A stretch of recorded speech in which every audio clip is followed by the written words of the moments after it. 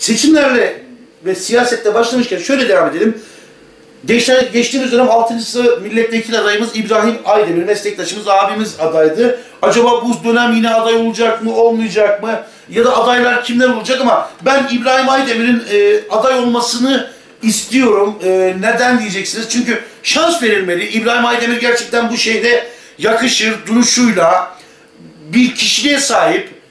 Bilmiyorum siz ne düşünüyorsunuz? Şimdi şöyle söyleyeyim tabii sonuçta siyaset e, yani Erzurum için konuşuyoruz. Tabii bu diğer iller için de aynı. E, milletvekili milletvekili sayılarına göre e, belli bir sıralama genel merkez tarafından yapılıyor ve AK Parti'nin kendine göre oluşturmuş olduğu e, birçok kriter var. Bu kriterleri bir araya getiriyor ve sonuçta bir liste oluşturuyor. E, Erzurum'da da her zaman Milliyetçi Hareket Partisi'nin bir buçuk milletvekili olduğu düşünüldüğünde e, tabii ki İbrahim Aydemir'in 6. sıraya konulması e, oldukça e, efendim e, Manidar. manidardı. Ama e, tabii daha üstte neden olamadığını bir e, konuşmak gerekiyor. Şimdi ben tabii mesleğe başladığım 1992 yılında işte radyoyla ilk mesleğe başladığım zamandan beri e, aradan geçen 23 yıllık süre içerisinde e, gazetecilik mesleğinde e, bu mesleğe gönül vermiş, gazeteciliği yapan insanların içerisinde gerçekten tüm gazetecilerin sadece şahsım için söylemiyorum. Tüm gazetecilerin her türlü sorununa, problemine, derdine, iyi gününe, kötü gününe ortak olmuş gerçek bir Erzurum delikanlısı İbrahim Aydemir tüm samimiyetimle söylüyorum. E, efendim nezaketi, e, beyefendiliği, dik duruşu, konulara mantıklı ve onurlu bakışı ve insanların tekraren söylüyorum iyi günlerinde, kötü günlerinde insanların yanında olabilen e, gerçek bir Erzurum delikanlısı, gerçekten dik duran Erzurum'un onurlu gazetecilerinden birisi İbrahim Aydemir. Tabii ki ben zamanında bir dostuma söylemiştim. E, Anadolu Haber e, gazetesini e, çıkardığım zaman ve Radyo Flash ve Anadolu Haber.com'u beraber yürüttüğüm zaman ismini şimdi buradan vermeyeceğim ama çok değerli bir dostumuz benim yanıma geldi. Baba dostu gerçekten çok seviyorum. İbrahim Aydemir gibi duruşunun da dik, e, bakışının da şehrin değerlerine, şehrin milli, manevi değerlerine e, gerçekten sahip olan bir insan olduğunu bildiğimiz bir amcamız bana gelmişti. Ben AK Parti'den milletvekilliğine adayım demişti. Ben de kalkıp elini öpüp ona şöyle demiştim.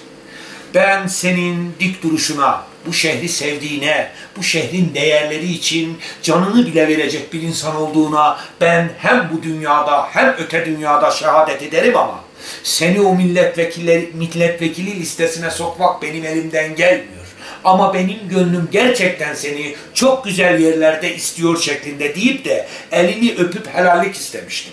Şimdi ben İbrahim Aydemir isminin de bu şehirde gazetecilik adına, gazetecilikte dik durmak adına, gazetecilerle birlikte olmak, birlikte hareket etmek, şehrin sorunları için gerçekten kafa patlatmak adına şehirdeki ender insanlardan biri olduğunu ben çok iyi biliyorum. Evet. Onun için benim gönlüm gerçekten bu seçimde. İbrahim Aydemir'in seçilecek bir yerde, seçilecek bir noktada olmasını ben gerçekten istiyorum. Ha burada e, sayılacak başka isimler de mutlaka vardır ama bizim süremiz çok kısıtlı. Onun için ben e, İbrahim Aydemir abimizi e, bu e, bizim başımıza gelen bu pis kumpas operasyonunda gelip geçmiş olsun dileğinde bulunma yürekliliğini gösteren. Bu da bir yürektir. Bu da bir duruştur. Tekraren söylüyorum. Üç maymunu oynamanın gereği yok. İnsanların başına her zaman ilginç işler gelebilir. Kuldur, şaşar beşer.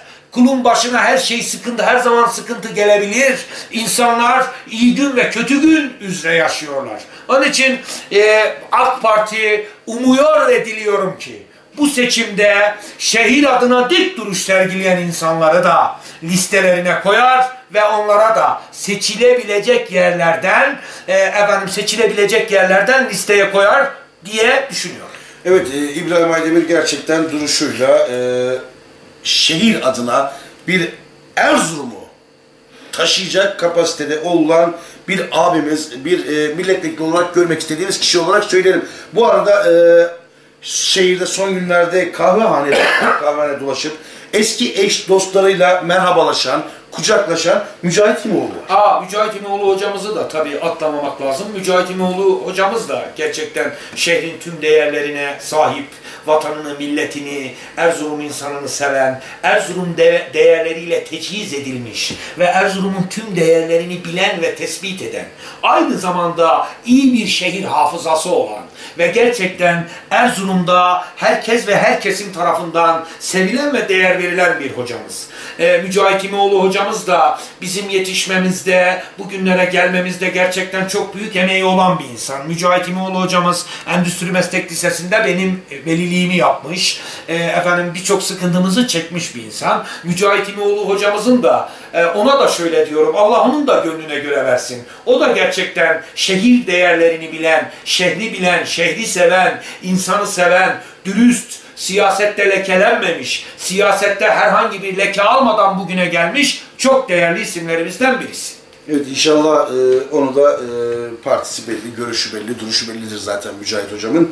E, inşallah listelerde görürüz diyoruz. Evet